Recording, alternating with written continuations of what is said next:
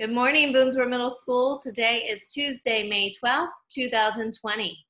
We are in a B week for our related arts classes, and today you are online for period one at noon and period two at 110. Uh, really happy. I've been going into grade books and seeing averages, interims. Of course, you know, will be posted on Friday, uh, but a lot of those averages for interims have been finalized at this point. Happy to see how many of you are falling in that B and A range.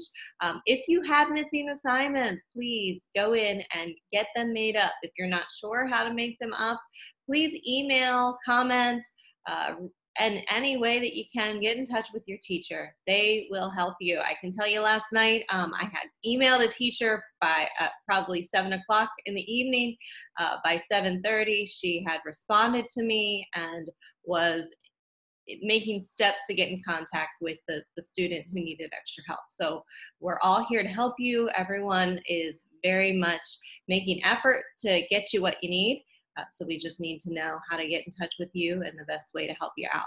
So I hope you have a great day and uh, we'll see you tomorrow.